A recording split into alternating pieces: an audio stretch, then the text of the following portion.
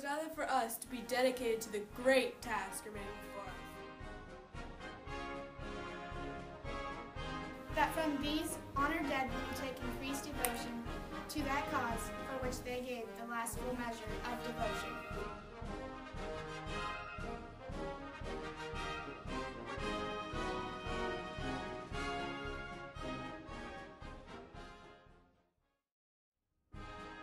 That we here highly resolve that these dead shall not have died in vain.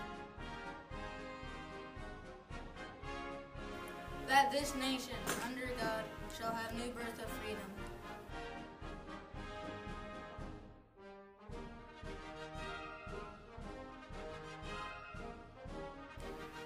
And the government of the people, by the people, and for the people shall not perish from the earth.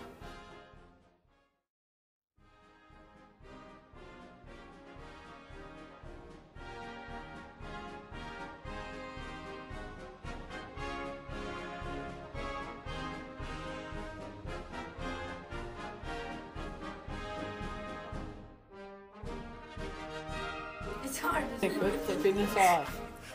What? No, my it is rather for us to be dedicated. Oh